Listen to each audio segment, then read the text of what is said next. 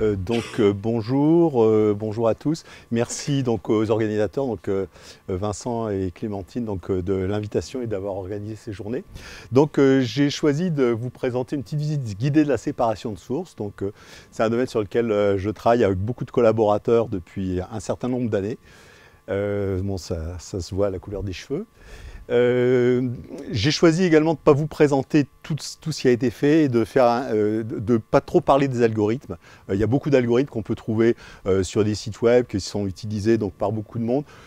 donc je vais me focaliser plutôt sur les, principes de base et vous montrer pourquoi finalement ce problème de séparation de sources est un problème qui intéresse beaucoup de monde, qui a intéressé beaucoup de monde. Donc en fait, euh, euh, typiquement, c'est un problème qui se pose dès que vous mesurez une information avec un capteur. Généralement, le capteur n'est pas très sélectif. Donc vous avez un exemple ici. Euh, supposez que vous mettez un microphone. bien sûr, tous les sons qui vont, provenir de sources qui sont dans l'alentour vont être captés par ce microphone. Et dans le plus simple des cas, ce que vous allez retrouver à la sortie de ce microphone, le signal, c'est un mélange de tout ça.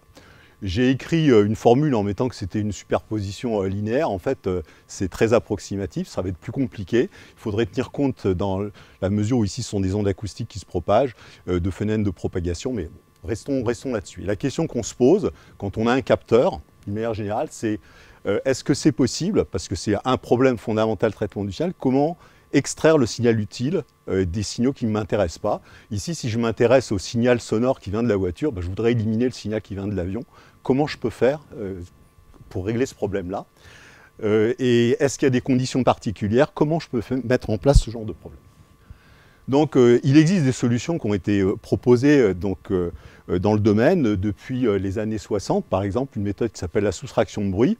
L'idée c'est de disposer, je me sens que mon pointeur aussi, de disposer d'un signal de référence. Donc par exemple le, bruit, le signal non utile, on a une référence de ce bruit. Euh, ça, c'est généralement une version filtrée. Et l'idée, c'est de soustraire éventuellement une transformation de social de référence pour euh, produire à partir de euh, mon observation, pour produire quelque chose où je vais essayer de compenser la partie qui ne m'intéresse pas. Donc ça, ça marche bien quand on a une référence du signal qui ne nous intéresse pas, par exemple. Donc dans ce cas-là, c'est très facile et on fait simplement à l'ordre 2 en essayant de, faire en sorte que cette partie ici, ce, résidu, soit décorrélé de la référence. Eh ben, ça marche très très bien. Et donc, c'est des méthodes qui ont été appliquées pour faire euh, de la soustraction de bruit, par exemple, pour extraire le signal euh, du fœtus. Euh, par rapport à d'autres signaux mélangés, en particulier le, CG de la mère, qui intervient quand on prend des enregistrements abdominaux sur une femme enceinte. On peut aussi, bien sûr, de manière plus simple, si on a des signaux qui vivent euh, dans des bandes de fréquences différentes, bah, par un simple filtrage, donc on peut faire ça d'une manière très très simple. Si on n'a pas ce genre d'a priori, comment on peut faire? Donc c'est un petit peu l'idée euh, de la séparation de sources, c'est résoudre ce problème sans avoir ce genre d'information a priori. Eh bien l'idée, en fait, c'est euh, la diversité. Et la diversité, c'est dire, bah, au lieu d'avoir simplement une seule observation, je vais essayer d'avoir plusieurs observations. Et donc, a priori, autant ou plus d'observations que de sources, je parlerai éventuellement de ça, et ces observations qui vont présenter des choses qui sont des vues différentes, des mélanges différents. Typiquement, euh, si j'ai des choses comme ça, bien sûr, ça ne va pas marcher si j'ai des choses qui sont strictement proportionnelles. Donc il faut qu'on ait des conditions comme ça qui seront faciles à expliquer. Alors d'où vient ce problème? Comment il a été abordé? Il a été abordé en fait euh, avec euh, euh qui a été mon, superviseur de thèse il y a un certain nombre d'années. Et après ma thèse, on a travaillé sur ces problèmes-là. Et en fait, on a travaillé euh, dans un groupe avec des neurobiologistes et on s'est intéressé à un problème qui euh, était le problème de décodage de mouvements chez les vertébrés. Quand vous faites un mouvement, donc ici ce sont des mouvements qui sont représentés ici par ces, euh, ces petits tracés, c'est le mouvement d'une articulation, donc vous partez d'une position donnée, vous allez déplacer à vitesse constante cette articulation vers une autre position. Donc c'est ce qui est représenté, c'est la position ici qui est symbolisée de cette manière-là.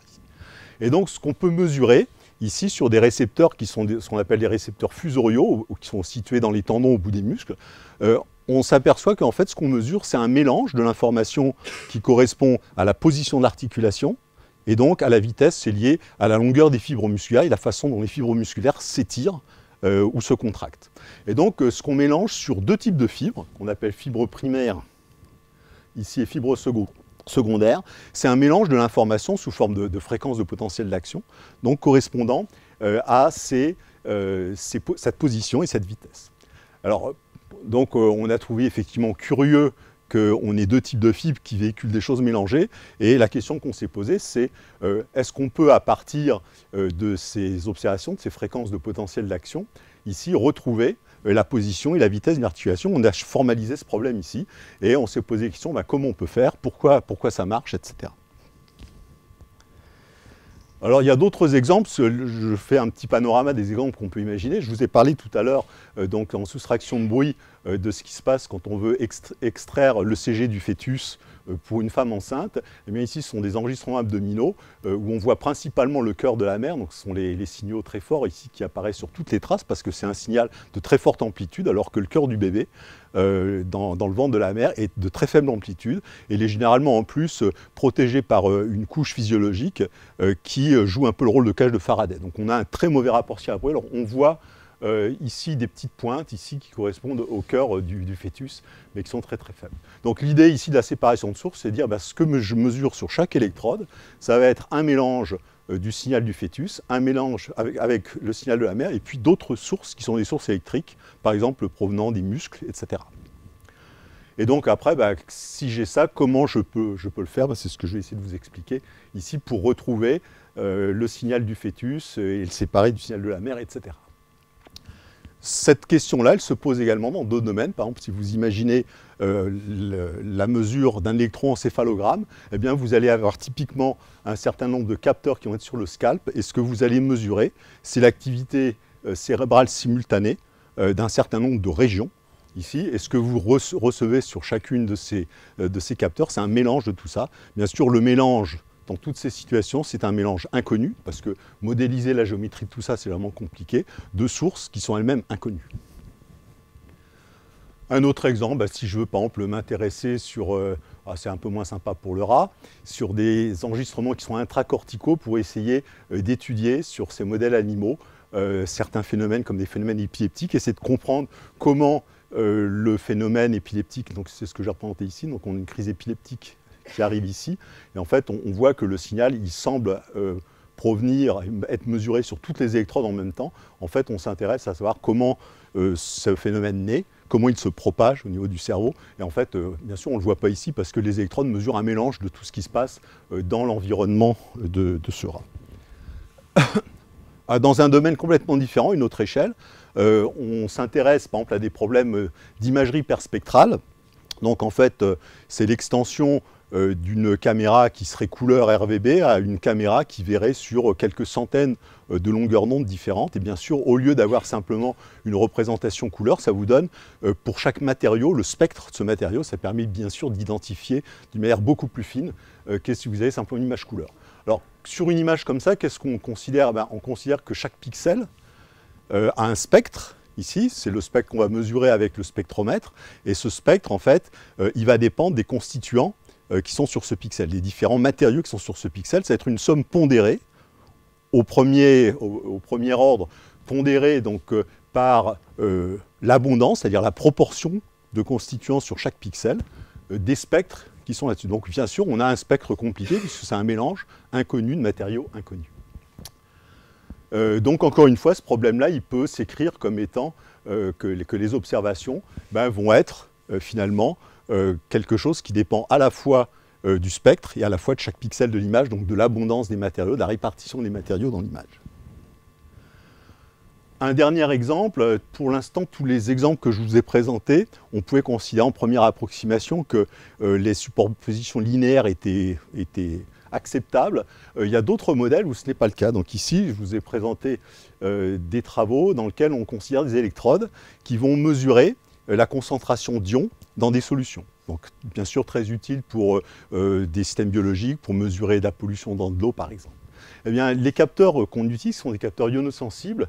Euh, ils ont des réponses quand on mesure la sortie, donc euh, c'est ce signal-là, qui dépend de la concentration des ions. Alors donc de l'ion principal quand on a choisi une électrode qui est dédiée a priori à un ion particulier, mais ces électrodes ne sont pas très sélectives.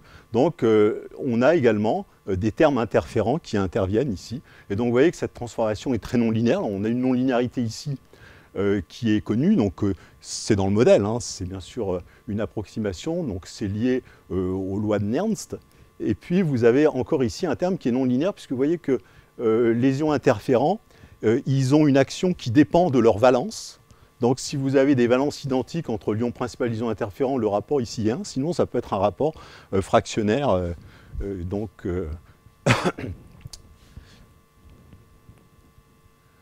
Donc, typiquement, comment je peux essayer de formaliser ça? Ce que je peux essayer de formaliser, c'est que si je m'intéresse simplement à une diversité qui est de dire je vais avoir plusieurs capteurs et je vais mesurer plusieurs échantillons, donc grand T échantillons dans le temps, dans le temps ou sur une image si je m'intéresse à une image, donc je vais simplement avoir des choses qui dépendent de deux diversités. En fait, ça veut dire que ça dépend de deux variables UV que je ne connais pas précisément. Et donc ça veut dire que mon tableau de mesure, si je m'intéresse donc euh, avec P capteur à T euh, mesure, euh, ça va être un tableau ici qui correspond finalement à cette fonction-là. Et ce que je vais supposer globalement dans mes modèles, c'est que je vais chercher à, si sous l'hypothèse que ces quantités vont être séparables, je vais essayer de trouver une espèce de une factorisation, je vais vous montrer après, une factorisation de ces quantités. Donc la, chose qu'il faut bien comprendre, c'est que dans tous ces problèmes, ici, la modélisation physique de la situation est souvent très complexe. Donc en fait, on a des observations. En revanche, on ne connaît, pas la transformation qui lie aux sources, ni les sources elles-mêmes. Donc ces quantités ici, euh, c'est ce que j'appellerais les, sources, et les variables cachées qui sont dans, dans mon mélange. Donc c'est les mélanges que vous avez vus dans les différentes situations que je vous ai présentées. Donc, euh, comme je vous l'ai dit, alors ce problème-là, il faut essayer d'apporter quelques hypothèses, sinon bien sûr il est complètement mal posé. On verra que même avec des hypothèses, ce n'est pas forcément complètement suffisant. Donc la première chose qu'il faut supposer, euh, c'est que euh, même si le modèle est inconnu, le, mélange est inconnu, on va faire des hypothèses sur sa nature. Donc on peut supposer par exemple qu'il est linéaire instantané, c'est le cas d'un certain nombre d'exemples que je vous ai présentés. Il peut être convolutif, c'est-à-dire qu'il faut que je tienne compte de la propagation. Dans le cas de source acoustique, il faudrait que je tienne compte de la propagation. D'accord? Euh, Et dans certains cas, je vous ai montré un ou deux exemples, c'est complètement non linéaire. Si j'ignore la non-linéarité, ça ne marchera pas, il faut que je prenne ça en compte. Et donc euh, l'idée, c'est ça. Donc finalement, si je reprends sous forme bloc, j'ai des observations ici sur un certain nombre de capteurs et un certain nombre d'échantillons, ici. Euh, et ce que je suppose simplement, c'est que euh, ce que j'observe ici, ça dépend d'une transformation et ça dépend de sources que je ne connais pas, mais c'est ces sources-là qui m'intéressent. Et euh, donc on peut imaginer différentes approches. ici, à partir de ces observations, ce que je voudrais essayer, c'est soit d'identifier ce mélange, ici, en supposant qu'il est inversible, ça me permettrait de revenir aux sources, soit éventuellement on peut essayer de trouver une transformation, ici, qui compense le mélange. Et donc l'idée de cette compensation, c'est de dire bah, comment je vais l'ajuster? Et l'idée, c'est de l'ajuster en disant bah, j'ai des propriétés désirables de ces sources, et il faut que ces propriétés désirables, euh, je vais les, préserver. Et euh, la question que je me pose, c'est est-ce que préserver cette propriété va me permettre d'effectivement d'identifier les sources, c'est-à-dire ces sources estimées, est-ce que ce sont bien ces sources-là? Alors, en fait, si je prends le cas le plus simple ici, c'est-à-dire le cas linéaire, donc euh, ça veut dire que euh, ce que je suppose, c'est que j'ai des observations qui sont comme ça. Donc ça, c'est, euh, bien sûr, je ne connais que ces observations. Je suppose que ça s'écrit sous cette forme-là. J'ai T échantillons, ça veut dire que je vais avoir ici, si je concatène toutes ces quantités, je vais avoir un tableau de valeurs ici, donc une matrice. et en fait, cette, cette équation, ça revient à une factorisation matrice. Vous voyez que cette factorisation, euh, quand j'écris comme ça, eh bien, euh, j'ai une infinité de solutions possibles, puisque si euh, je suppose qu'il y a un certain nombre grand R de sources, eh bien, sûr, si j'intercale ici une matrice inversible, une matrice transposée, j'ai encore une décomposition. Et donc, sur mes observations, je ne vois pas les différences. Donc, j'ai une infinité de solutions. si je n'impose pas quelque chose supplémentaire, bien sûr, je, n'ai pas ici quelque chose que je sais résoudre. Et bien sûr, moi, ce que je veux, c'est que ces sources ici euh, ne soient pas n'importe lesquelles, puisqu'elles ont a priori un sens physique par rapport à la situation. Donc il faut que je trouve ici euh, des bonnes contraintes. Alors on peut voir également cette factorisation un petit peu autrement. Donc en fait, si j'écris les choses sous cette forme-là, ce qu'on peut voir, c'est que chaque chaque observation ici, ça peut être vu comme étant une somme simplement de R source, ici, donc, donc de petit r égale 1 à grand R. donc, et globalement, je vais pouvoir représenter ici mon tableau de données comme étant une somme de termes de rang 1, dans le, modèle que j'ai considéré ici. Donc chaque, chaque terme ici, ça me représente une de mes sources, donc je suppose qu'il y en a R ici, donc ce nombre doit être choisi d'une manière ou d'une autre, ou c'est un a priori. Et puis ici, ce terme-là, ce, ce facteur, ce vecteur, me donne la contribution de chacune des sources sur mes différents capteurs. Donc c'est ça l'idée. Et donc euh, euh, euh, ça, nous permet ici dans ce tableau ici de considérer que chaque produit ici, alors qu'on peut écrire soit de cette manière vectorielle ou de manière tensorielle, représente la contribution à 2D de la source ici sur les différents capteurs dans ce tableau de données. Alors le problème, malgré qu'on fasse euh, un certain nombre d'hypothèses sur le mélange, on voit qu'il est mal posé. Et donc, euh, il faut que j'essaye de trouver des propriétés, des a priori, soit sur le mélange, on en a déjà fait, soit sur les sources. Maintenant, on va aller sur les sources pour essayer de trouver euh, des solutions, c'est-à-dire que de réduire l'incertitude, les ambiguïtés sur la factorisation, qui pour l'instant sont bien sûr trop grandes pour être d'aucune utilité d'un point de vue physique. Donc, l'idée, c'est d'utiliser des propriétés, euh, des propriétés de ces sources.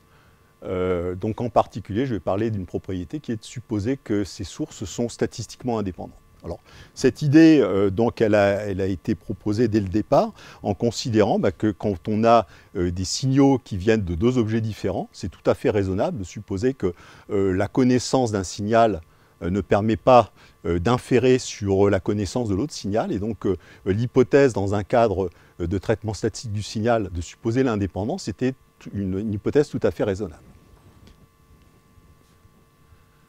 Donc euh, c'est ça qu'on va regarder maintenant. Alors en fait, quand on regarde un peu dans la littérature, c'est des choses qu'on a découvertes après, donc c'est pas tout à fait chronologique. On s'aperçoit qu'un problème similaire a été euh, étudié par Darmois dans les années 50. Ici, il s'intéressait à de l'analyse factorielle et considérait ici des observations, donc des vecteurs aléatoires, qui étaient des sommes d'autres vecteurs aléatoires, euh, S étant un vecteur aléatoire à, composantes mutuellement indépendantes. Et donc le résultat qui était montré par, euh, par Darmois, c'est que euh, retrouver à partir de cette seule observation, retrouver ici les, sources S, donc ce vecteur source, c'était impossible si on a des, des signaux qui sont, des, variables aléatoires qui sont indépendantes identiquement distribuées et qui sont gaussiennes.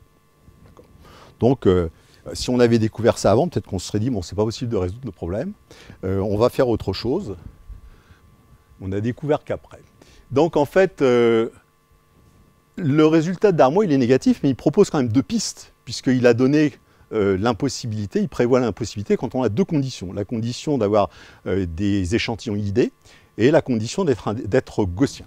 Donc en fait, on a deux pistes de direction de recherche qu'on peut proposer. C'est de dire, eh bien, je vais conserver la propriété euh, que mes échantillons sont idées, mais ils doivent être non gaussiens, sinon ça ne va pas marcher. Ou bien au contraire, je vais pouvoir considérer que mes sources sont non idées euh, et je vais pouvoir garder la propriété d'être gaussienne. Alors, ce qu'il faut bien comprendre ici, c'est que quand je dis que mes sources sont idées, ça ne veut pas dire que mes signaux le sont vraiment, ça veut dire simplement que l'information euh, qui a un lien entre les échantillons successifs, je l'ignore. Donc ce n'est pas forcément optimal, mais on peut se dire, voilà, je n'en tiens pas compte. Et quand on a des sources qui sont non idées, eh bien en fait on peut encore considérer deux pistes possibles, deux propriétés possibles des signaux qui sont des propriétés finalement relativement générales et faibles, qui ne sont pas des propriétés paramétriques, c'est vraiment des propriétés générales. C'est-à-dire je vais avoir des sources qui sont temporellement corrélées, donc euh, leur autocorrélation n'est pas, pas un Dirac, euh, ou bien des sources qui sont non stationnaires. Alors c'est vrai que c'est un petit peu gênant a priori quand on veut faire euh, des statistiques d'avoir des choses non stationnaires, mais finalement, quand on a des vrais signaux, on a souvent des choses qui sont stationnaires par morceau, mais considérer la stationnarité sur euh, une trop longue période, ça n'a pas forcément de sens. Donc euh, voilà, c'était les pistes possibles. Alors moi, je vais vous parler, je ne vais pas vous parler de tout, donc ici, je ne vais pas parler de cette partie-là. en revanche, cette partie-là, d'un point de vue algorithmique, est très intéressante parce que, en fait, quand on fait ça, ce qu'on peut montrer, c'est qu'on peut travailler avec des statistiques à l'ordre 2, c'est-à-dire à partir de matrices de variance-covariance, et que euh, la solution, la résolution du problème de séparation de sources, en fait, peut reposer sur des algorithmes de diagonalisation conjointe approchés d'un certain nombre de matrices euh, qui vont prendre en compte les propriétés ici. Donc, par dans le canon stationnaire, on va prendre des matrices de covariance dans différentes fenêtres du signal, donc on va choisir pour que les, estimations aient un sens avec suffisamment d'échantillons, en supposant qu'on a des, euh, des signaux qui sont non stationnaires et des sources non stationnaires qui ne varient pas de la même manière, euh, on, peut trouver, on peut montrer que la solution de la séparation de sources peut se faire en diagonalisant conjointement euh, ces algorithmes. Donc il y a plein d'algorithmes de diagonalisation conjointe qui sont très efficaces algébriquement et algorithmiquement. Et donc on a toute une classe de solutions pour ces problèmes-là qui, sont possibles. Moi je vais vous parler un peu plus de séparation de sources par analyse en composantes indépendantes. Donc euh, la première question qui se pose, compte tenu des résultats de Darmois, c'est de se dire est-ce que si euh, je considère que mes sources sont indépendantes et que j'estime B de telle sorte que euh, mes sources estimées soient indépendantes également, est-ce que je suis sûr que ces sources, ça peut être que, que ces sources estimées ne peuvent être que mes sources initiales? Donc c'est cette question ici importante, et puis après, bah, comment je peux mettre ça en musique? Alors en fait, euh, il y a des résultats qui ont été proposés euh, par un certain nombre de, personnes. Donc euh, là, c'est le résultat de Comon en, 1994, dans le cas de mélange linéaire instantané. Donc ce, que dit ce théorème, il dit ben voilà, si on considère des observations qui sont de cette forme, donc A et S sont inconnus, on suppose simplement que le mélange est un mélange régulier. Les vecteurs sont statistiquement indépendants. Eh bien, si on essaye d'estimer une matrice B euh, qu'on applique ici sur ces observations, telles que euh, ces quantités soient euh, indépendantes, ici, eh bien la seule façon possible de le réaliser, c'est que la transformation globale entre mes sources que je ne connais pas et ces estimations, ces estimations Y, ça ait cette forme-là, c'est-à-dire c'est le produit d'une matrice diagonale par une matrice de permutation. C'est-à-dire ça veut dire que je vais retrouver mes sources à un coefficient d'échelle près et à une permutation près. Comme les numéros sont arbitraires, comme je ne connais pas les énergies des sources, on voit que ce sont euh, des solutions, euh, c'est une ambiguïté tout à fait acceptable ici. Alors, il existe des résultats similaires dans le cas euh, de mélange convolutif. Donc là, il faut que je prenne en compte que le mélange reste linéaire, mais il y a, donc de la propagation, donc ce sont des produits de convolution. Dans ce cas-là, ce qu'on montre, c'est qu'on a un résultat similaire. Simplement, les sources seront connues simplement à un filtre près. Euh, dans certains cas, on ne maîtrise pas le filtre. Le filtre peut perturber euh, fortement, beaucoup plus fortement bien sûr qu'un simple gain, euh, la forme des sources. Canon linéaire. Alors canon linéaire, on voit que ce n'est pas forcément un cas d'école, puisqu'il y a un certain nombre de, systèmes qui sont essentiellement non linéaires, donc je ne peux pas les approximer au premier ordre par une linéarité. Eh bien, a priori, c'est quelque chose qui ne marche pas. C'est en général impossible, et donc il y a des résultats d'Armois euh, qui, ont été, montrés, euh, qui met que, généralement l'indépendance de Y euh, ne va pas impliquer la séparation de sources. Je ne vais pas retrouver forcément Y. Autrement dit, je peux avoir des transformations non linéaires, je vais vous en donner un exemple derrière, mais vous en avez peut-être en tête. une transformation non linéaire de sources indépendantes, ici, qui fournit des sources indépendantes, mais qui sont encore des mélanges de mes sources initiales. Alors en fait, euh, on a un certain nombre de pistes pour pouvoir résoudre ce problème, mais il faut contraindre le problème à des non-linéarités particulières. Donc je vous montrerai un exemple ici. Euh, euh, ou bien rajouter des a priori sur les sources. Donc comme j'en ai déjà parlé. Je vais revenir après sur le canon linéaire.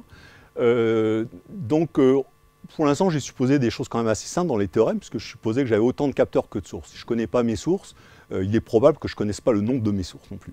Et dans certains cas, quand je vous ai présenté par exemple le, cas de l'électroencéphalographie, euh, le nombre de sources est probablement supérieur au nombre de capteurs. Ça, bien sûr, ça dépend de la résolution à laquelle on veut imager le cerveau.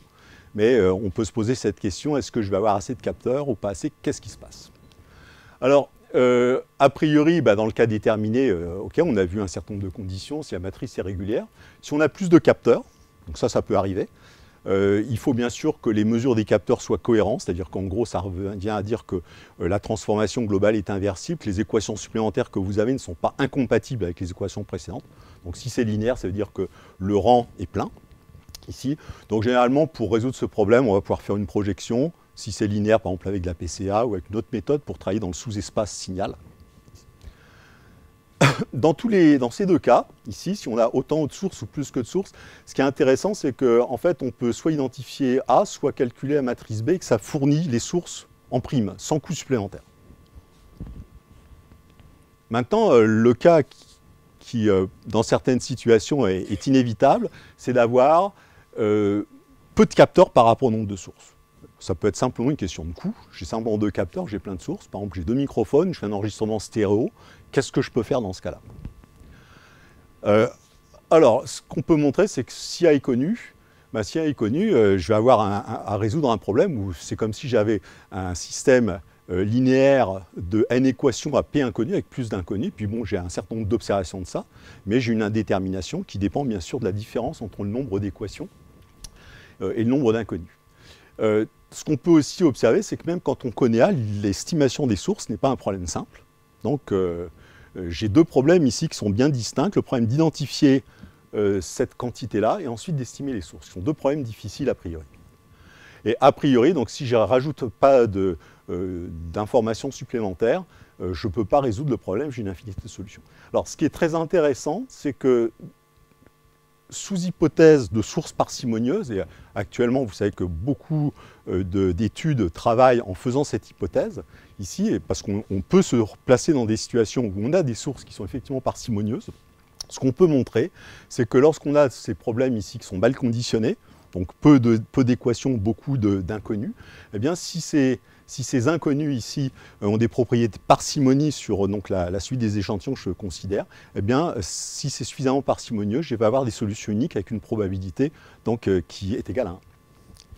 Donc c'est très intéressant tout le compressive sensing finalement est fondé sur ces idées-là.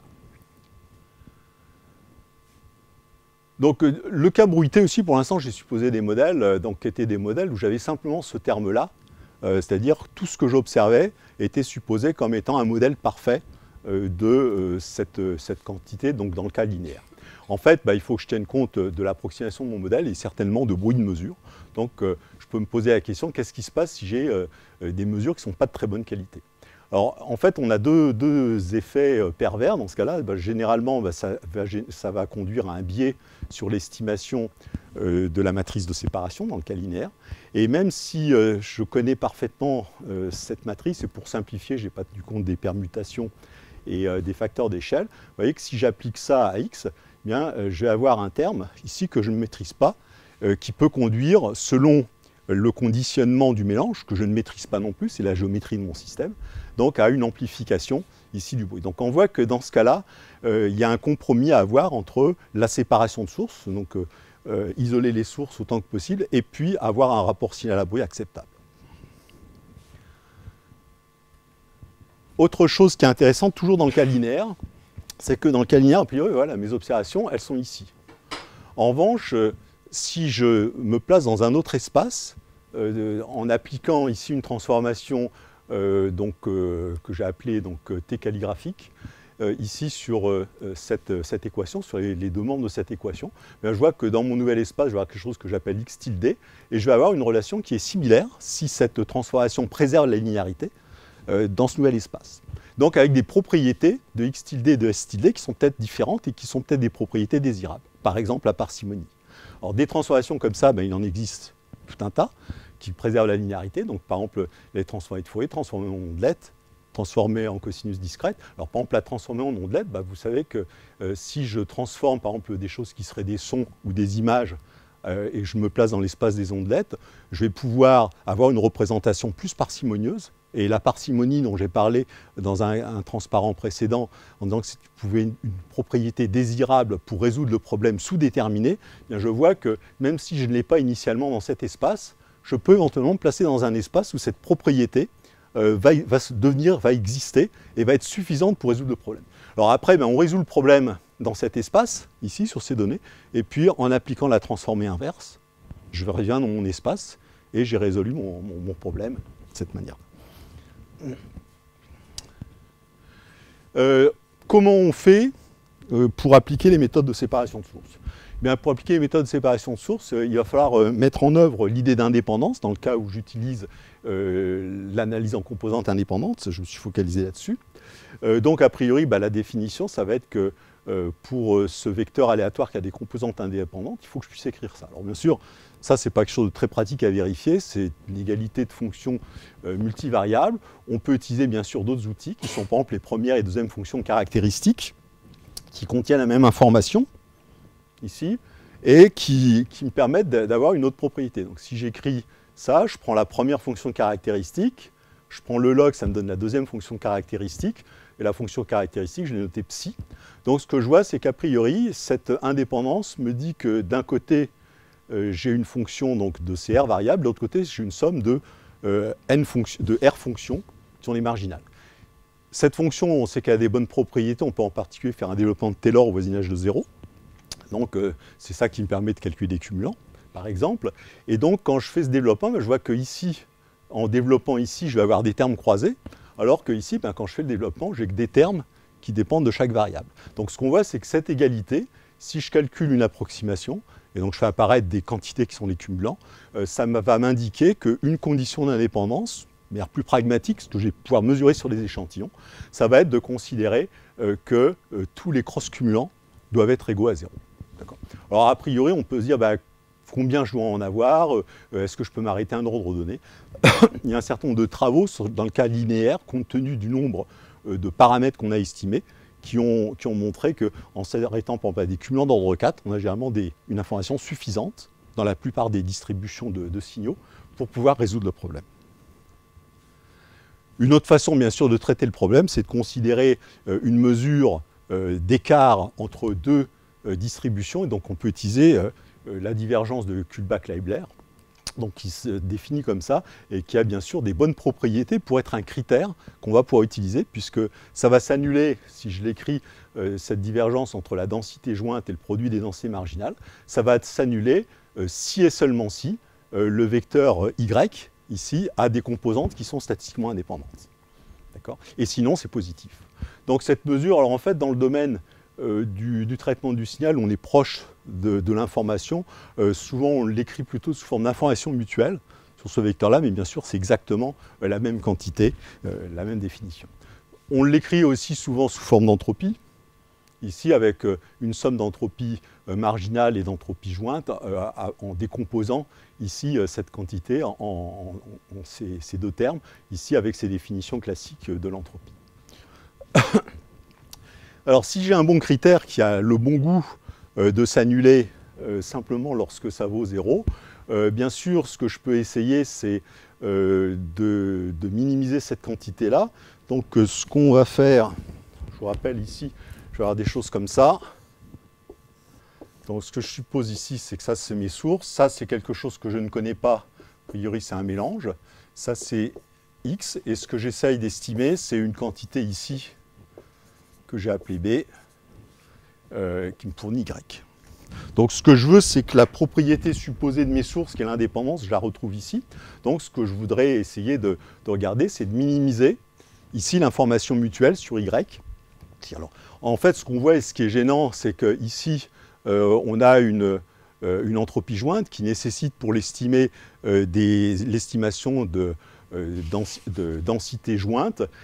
donc, mais en fait, on peut aussi réécrire que cette euh, la densité, l'entropie ici, ça se crée en fonction de l'entropie de l'entrée. Il suffit d'utiliser simplement le changement de variable euh, donc entre les variables x et y qui euh, sont liées par la matrice B.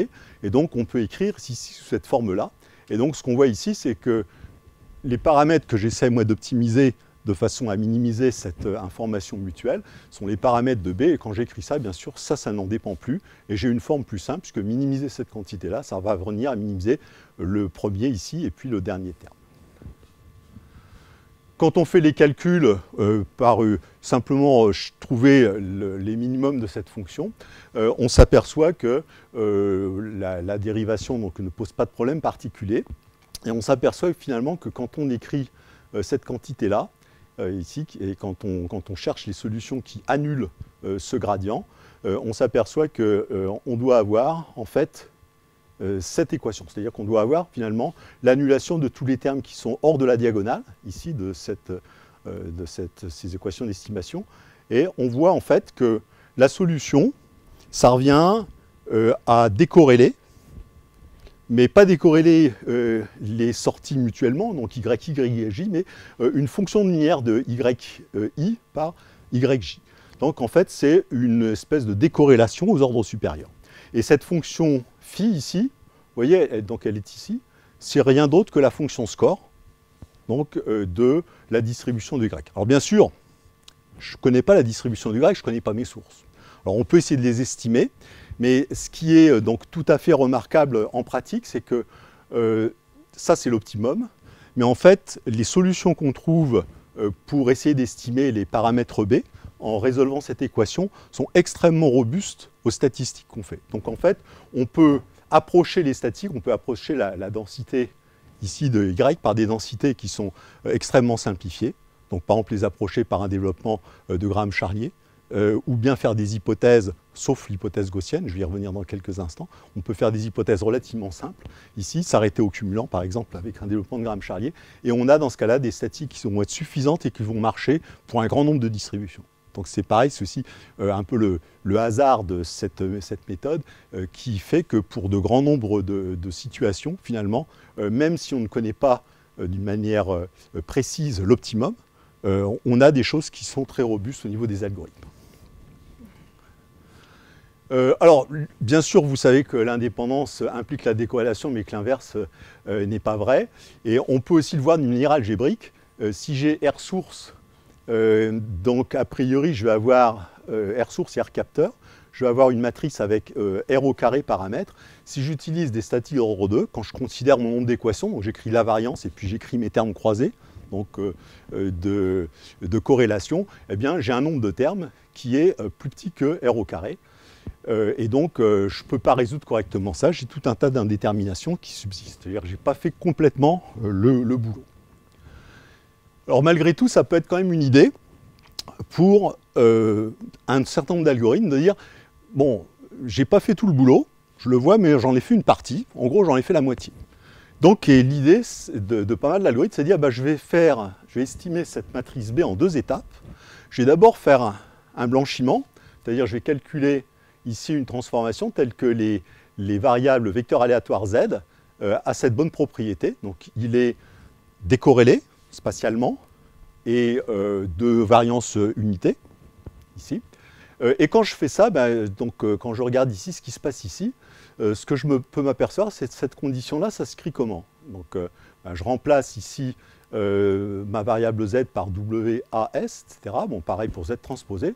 Euh, je vois que je peux écrire ça comme ça. Et pour simplifier, en supposant que mes sources sont également de variance unité, ça c'est simplement, compte tenu de l'indépendance, simplement l'identité. Ici, et ce que je vois, c'est que quand je fais ce blanchiment, le terme qui me reste ici à estimer, ça doit être, compte tenu du mélange, le mélange WA, ça correspond à une transformation orthogonale. Donc bah, il faut que je compense simplement cette rotation, cette matrice orthogonale. Donc je vais avoir simplement à contraindre après blanchiment, si mon blanchiment est bien fait, euh, à rechercher une matrice de rotation pour inverser, pour compenser cette rotation. Donc euh, on peut faire ça. Alors ce qu'on peut voir aussi, c'est qu'algébriquement, bah, si je compte euh, le nombre de rotations planes associées à cette matrice U, bah, le nombre de rotations planes, c'est ça. Et quand je fais la somme des deux, ça fait bien R2. Donc on voit que algébriquement aussi, tout ça, c'est tout à fait cohérent.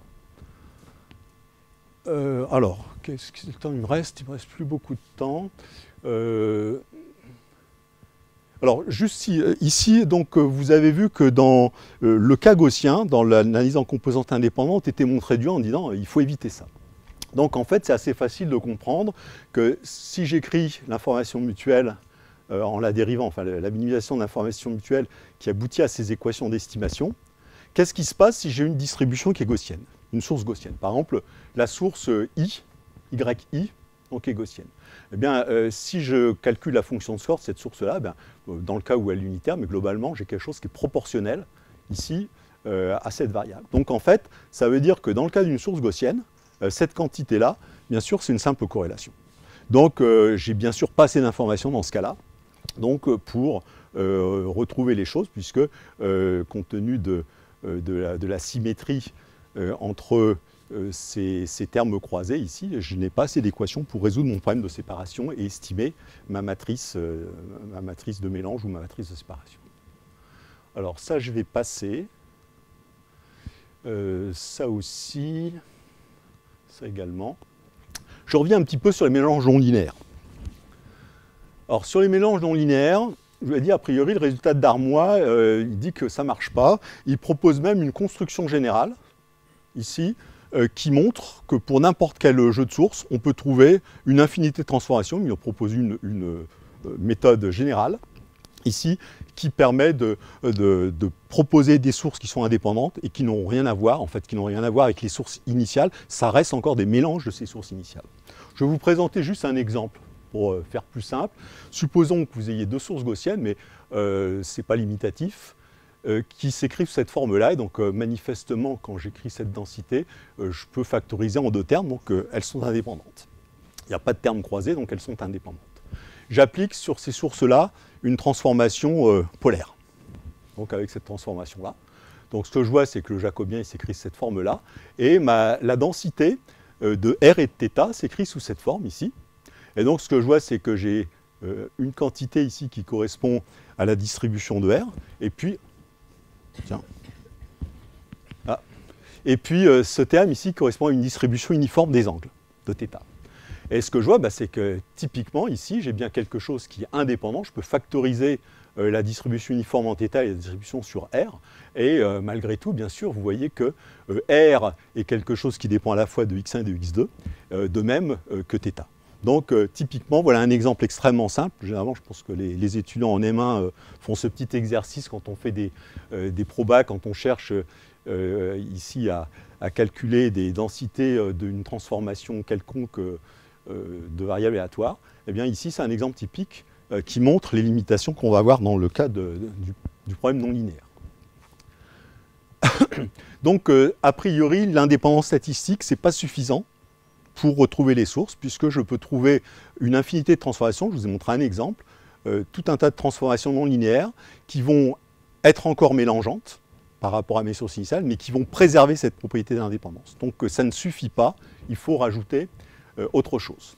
Donc c'est ce que j'ai indiqué ici, il faut qu'on considère, qu'on rajoute ici d'autres euh, informations pour pouvoir euh, résoudre ce problème. Alors en fait, il y a un certain nombre de solutions qui ont été proposées dans la littérature, c'est d'avoir des, transformations qui sont lisses. En fait, on peut trouver des contre-exemples aussi, ça ne suffit pas a priori comme, comme chose. On peut trouver euh, des méthodes plus ad hoc qui correspondent à euh, des transformations euh, qui sont restreintes, certaines classes de transformation non linéaires, et bien sûr, il faut trouver des structures de séparation adaptées à ça, ici. ou bien on peut utiliser des a priori sur les sources, encore des a priori sur les sources qui sont très intéressantes, ça donne des propriétés aussi. Encore une fois, toutes les propriétés qui sont indiquées, des propriétés qui ne sont pas des propriétés paramétriques fortes, c'est des propriétés globales. Par exemple, on dit des sources bornées. Alors, sources bornées, bon, de manière naturelle, ce n'est pas forcément une très bonne hypothèse, mais quand on fait des télécoms, euh, des sources discrètes, des sources bornées, ça peut être des choses euh, qui, euh, existent et qui ne sont pas forcément des hypothèses complètement irréalistes. Alors je vous montre un exemple de modèle non linéaire sur lequel on a travaillé, qui est ce qu'on a appelé le modèle post-non linéaire. L'idée, c'est de dire, ben voilà, j'ai ma propagation qui se fait dans un espace de manière linéaire, et puis derrière, mes capteurs, en fait, mes capteurs, bah, ils présentent peut-être des saturations, des imperfections. C'est le cas quand vous avez un microphone, par exemple, bah, vous avez souvent des phénomènes de saturation, mais c'est vrai pour beaucoup de capteurs. Euh, mon capteur est non linéaire. Donc euh, voilà mes observations qui sont des transformations non linéaires avec une transformation que je ne connais pas forcément ici de, aussi bien pour euh, la non-linéarité que pour le mélange ici. Et donc, bien sûr, je ne vais pas ici essayer d'inverser ce modèle en estimant euh, n'importe quel mélange non linéaire, je vais choisir une structure de mélange adaptée. Donc euh, ici, c'est évident. Eh on, peut trouver euh, des résultats sous forme d'un théorème qui montre l'identifiabilité. Et ici, bah, l'idée très simple, c'est que si on est capable d'estimer ces transformations de telle sorte qu'on compense la non-linéarité, vous voyez qu'après, ici, vous avez juste un mélange linéaire à résoudre. Ben, ce qu'on peut montrer, c'est qu'effectivement, si on a euh, au plus une source gaussienne, si euh, la matrice de mélange ici est suffisamment mélangeante, eh bien dans ce cas-là, on, va pouvoir trouver ici, en, utilisant l'indépendance, on va pouvoir montrer que les seules sources, les, sources ici en Y qui préservent l'indépendance, ça ne peut se faire que si ici on a Géron F ici qui est, qui est une transformation linéaire, et si on a ça. Donc on retrouve les mêmes indéterminations dans ce cas particulier que euh, sur les, euh, le cas linéaire. Donc euh, je vais passer ça. Juste une idée qui a été proposée par des statisticiens dans les années 73, c'était toujours sur des problèmes d'analyse factorielle, et c'est l'extension d'un théorème de, de Dama-Stikovic et euh, dans, cet ouvrage ici, euh, ça correspond donc euh, à des, mélanges particuliers qui sont dits satisfaire à un théorème d'addition. Donc je ne vous donne pas juste les détails, mais je, vous montre simplement ce cas-là. Supposons que vous ayez sur cet exemple, vous ayez une transformation non linéaire qui est cette forme-là. Ici, quand vous voyez ça, c'est OK, c'est une transformation particulière, rien de, rien de très excitante ici comme transformation. Maintenant, si vous remplacez u et v par euh, une, autre, une, autre, variable qui serait tangente x, tangente y, vous retrouvez que cette formule ici, finalement, c'est simplement tangente x plus y. Donc, euh, en appliquant maintenant sur ce, sur ce terme-là tangente inverse, vous voyez que vous avez linéarisé, vous avez quelque chose qui est x plus y. Donc, en fait, euh, on peut trouver ici, et on peut formaliser, donc c'est ce qui a été fait par Kagan, on peut trouver un certain nombre de transformations qui ont cette propriété d'être euh, d'être linéarisable d'une manière ou d'une autre avec un certain nombre de transformations ici. Et le modèle post-non-linéaire que je vous ai présenté avant, en fait, en est un cas particulier.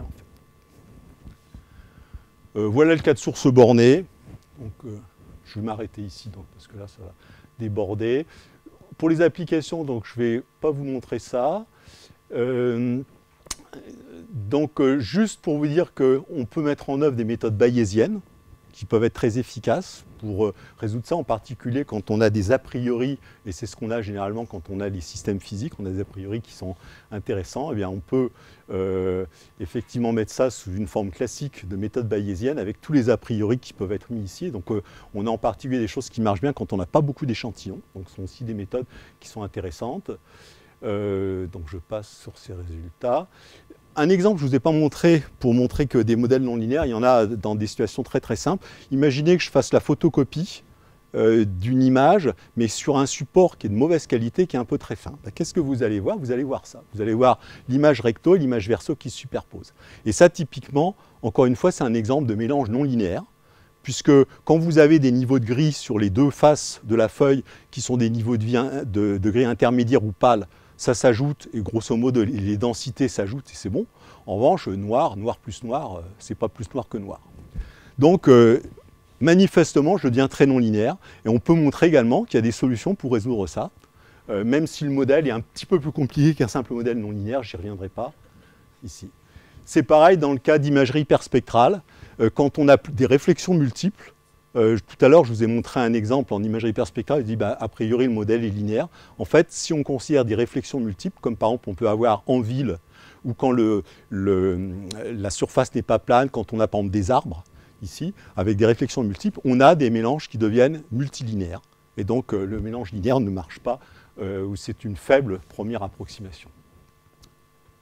Je vais conclure ici. Donc euh, ce que j'ai voulu vous, montrer ici, c'est que la séparation de sources, c'était finalement un problème très général qui s'applique dans de nombreuses situations. C'est un problème qui a priori est mal posé, euh, mais on peut euh, le résoudre en ajoutant des a priori qui sont finalement des a priori assez simples, qui ne sont pas des a priori paramétriques, c'est des propriétés assez générales. donc qui se modélisent facilement, mais qui ne se modélisent pas en imposant des propriétés extrêmement strictes, ici, ou, une description paramétrique. Donc il faut des propriétés a priori sur le modèle de mélange. Si je ne fais pas ça, ben, ça va être mission impossible, en particulier dans le cas non linéaire, vous l'avez vu.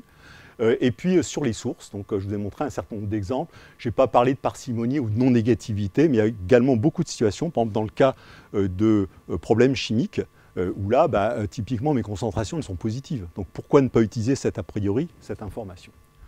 Donc des exemples d'application, je vous en ai montré beaucoup. Je vais montrer qu'il y a eu aussi des success stories dans, dans, cette, dans, dans l'aspiration de source.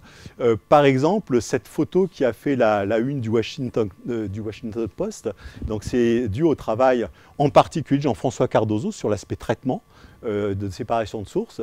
et ça, ça correspond donc au rayonnement euh, fossile de l'univers.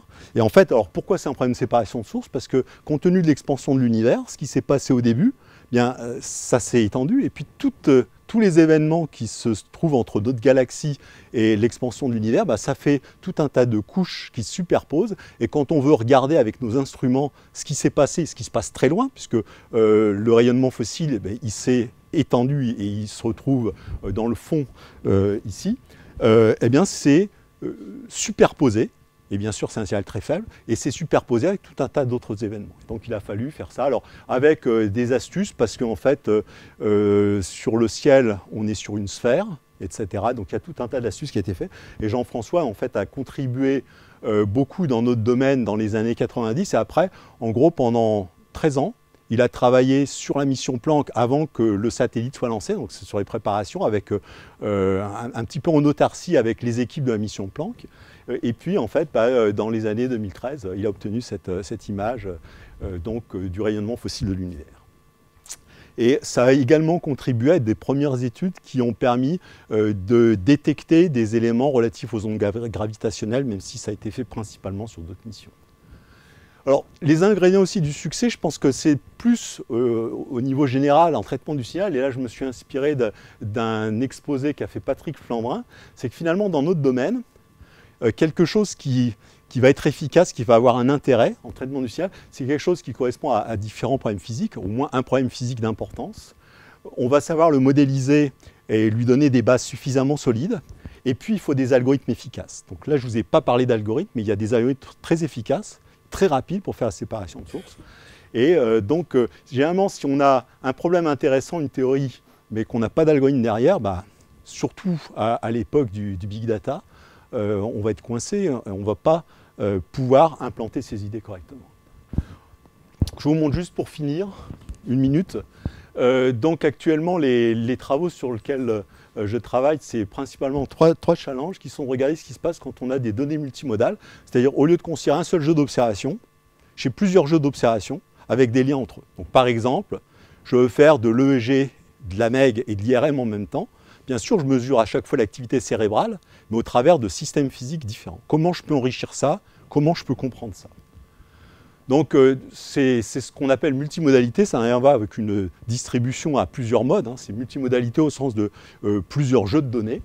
Donc on s'intéresse à étendre euh, l'ICA dans le cas justement où on a plusieurs modalités et où on a des données qui ne sont pas forcément scalaires, on a des signaux qui peuvent être vivre dans un sous-espace, ici.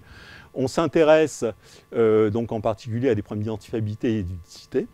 On s'intéresse également, parce que ce n'est pas clair, euh, quand on a des multijeux de données, est-ce que dans tous les cas ça marche mieux que quand on en a un seul? Et on s'intéresse à essayer de prédire les performances, soit euh, les gains, soit euh, les pertes en performance. Et puis on a, je vais juste terminer là-dessus sur un slide, dans, le canon linéaire, c'est facile à comprendre. Canon linéaire, je dire, c'était compliqué. On a quelque chose comme ça. Mais en fait, une idée très simple, c'est de se dire, mais si mes signaux, mes sources sont suffisamment lisses pour être dérivables, je peux écrire une transformation qui revient à ça. Alors, j'ai un problème ici qui était non linéaire, invariant dans le temps. Ici, je transforme en un problème qui est linéaire, grâce à cette matrice jacobienne, mais qui est variable dans le temps, puisque ça, bien sûr, ça dépend euh, de comment varient les sources. À chaque fois que j'ai eu un signal différent, euh, je vais avoir ici un jacobien différent. Donc euh, j'ai un modèle qui est variable dans le temps. On a travaillé sur ces choses-là avec un doctorant et on a un certain nombre de résultats là-dessus euh, en, rajoutant aussi d'autres a priori. Donc ça, c'est tous les gens qui ont travaillé euh, euh, avec moi de pro ou de loin, qui travaillent actuellement ici. Les autres, ceux qui ont travaillé avant, je ne les ai pas cités. et voilà, je vous remercie.